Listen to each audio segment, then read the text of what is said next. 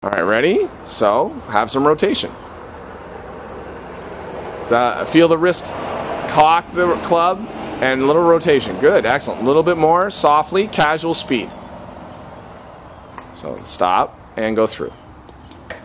Very good, excellent. So, you want to feel that left forearm, pull the club down and rotate around your body all the way as far as it can go. Keep going all the way around.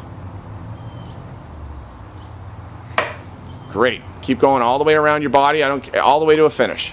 Okay, let the club come around onto your shoulder. Good. One more time. Great.